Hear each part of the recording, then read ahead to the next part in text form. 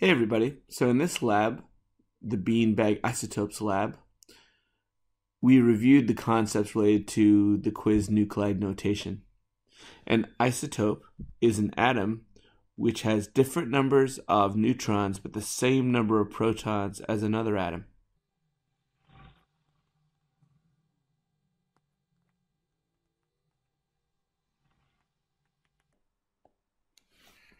So if the number of neutrons are different, the mass is different, but if the protons are the same, then it's always the same kind of atom. So oxygen always has eight protons, for example, but it can have eight neutrons or it can have nine neutrons, and the masses would be different. This is the idea that you were exploring when doing this lab. In this lab, you're given different beans, so you're investigating the bean atom, and the beans that we used were black beans, pinto beans, and navy beans. And you got a mixture of these different amounts of beans uh, in a bag. And what you had to do, you had to sort them into each kind of bean, count them, and weigh them. And that allowed you to calculate their, uh, their average mass and their percent abundance. So here's some sample data that I put down. There's uh, under the bean type, you write black, pinto, and navy. Under the number of beans, I wrote 50, 25, and 100. And under the total mass of the bean atoms, I wrote 20.6 grams, 12.8 grams, and 38.7 grams. Now, these are made up numbers, but you actually did this. You sorted the beans, you counted them, and then you weighed them. And now in our data table, you had to do some calculations. So I'm going to write the bean types again black, pinto, and navy. And then you calculate the average mass of each bean. So you take the mass and divide by the number of bean atoms for each type of atom. So I have my handy dandy computer calculator here. And so I do 20.6 divided by 50. And I get 0.412.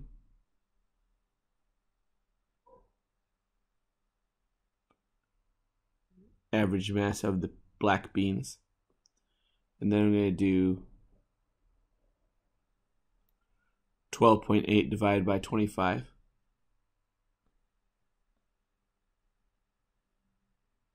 And I get 0.512.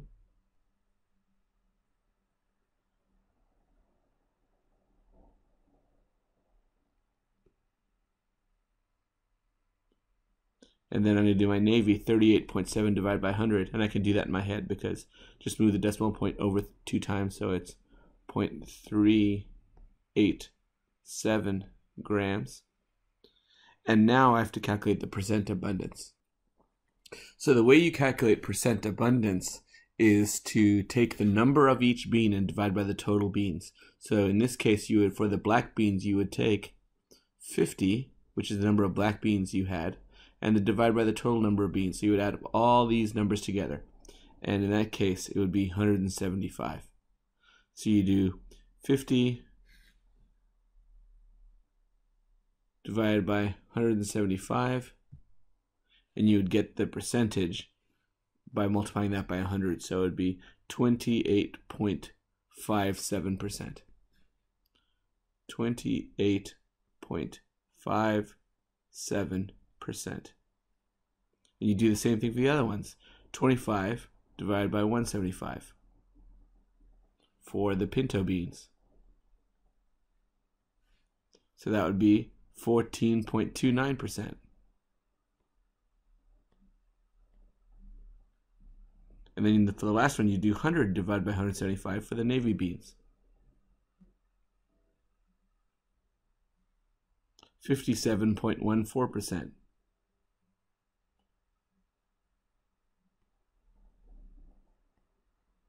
And if you added up all those numbers together, you'd get a number very close to 100%. And there was an equation given on the lab which says that you can find the average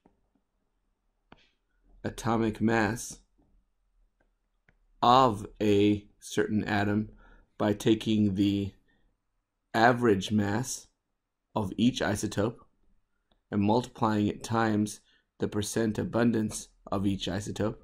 So you do this for each one and you add them all together. Right, so you do the first one, 0.412 times 28.57, 0.512 times 14.29%, and 0.387 times 57.14, and you get the average atomic mass of the bean isotope. So I'm going to write that out for you. So let's write it out. The bean average atomic mass is equal to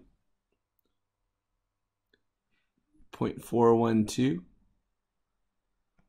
grams times 0.2857 plus 0.512 for the pinto beans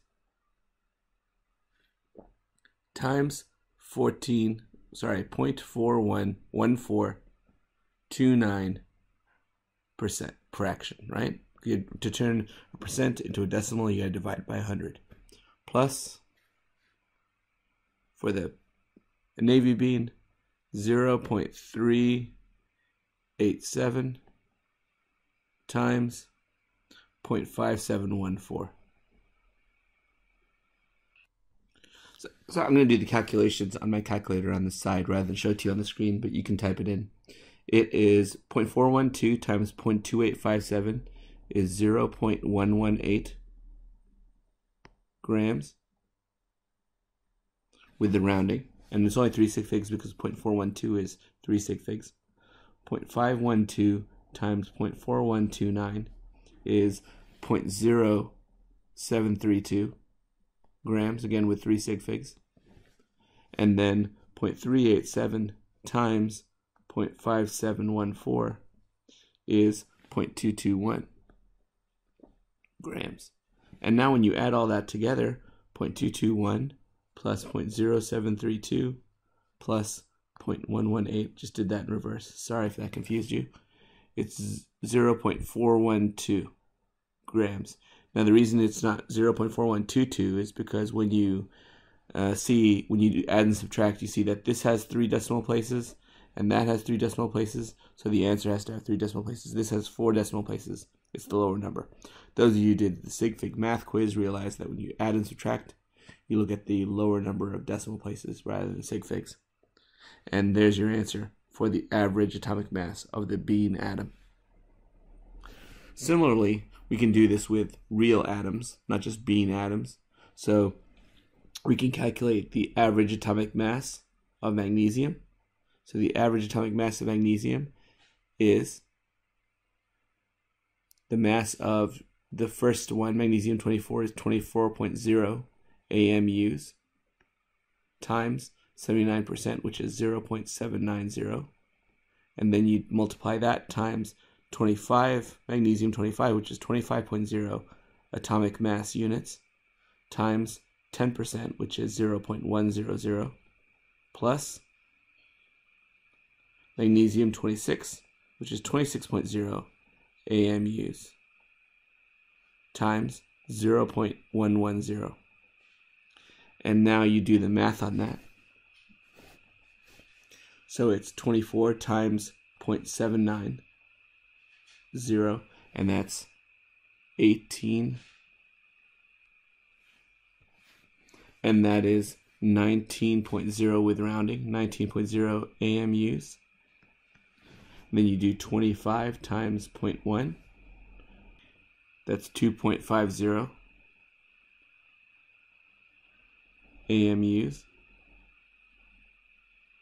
and then 26 times 1.11 and that's 2.86 AMUs. So you, then you add those up 19 plus 2.5 plus 2.86 and you get 24.4 AMUs. And that kind of makes sense if you see that the 24.4 is in between the 24, the 25, and the 26. And because 79% of them are 24, it's going to be closer to that answer. It's like a weighted average, like your grade. And the last question on here. Explain why the atomic mass of copper is not exactly equal to 64, midway between the mass numbers of copper 63 and 65. So, what they're saying here is there's only two isotopes, 63 and 65. So if the average was perfectly 50% of this and 50% of that, the average would be 64. But it's not. It's not equal to 64. If we take a look at our periodic table here, we see that copper has a mass of 63.55.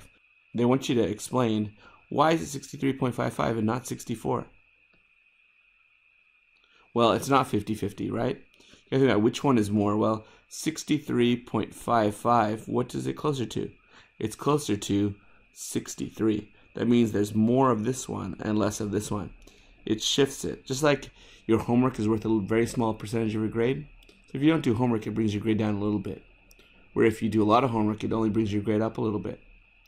So really the key is to doing the work in the category that's more, right? That's how you raise your grade, right? Summative and the formative. Well, in this case, if you want the average to be 63.55, you want to make this one more, right? So this is more like, this is probably more like 75%, and this is 25%, since the average is 63.55.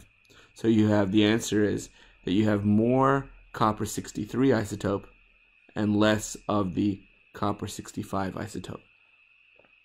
Hopefully that gives you a good idea of how isotopes work and how you use the beanbag lab to to do the isotope calculations. Thanks and have a good day.